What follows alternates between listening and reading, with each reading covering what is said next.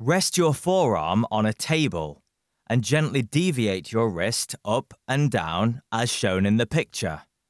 This is a mobility exercise for your wrist.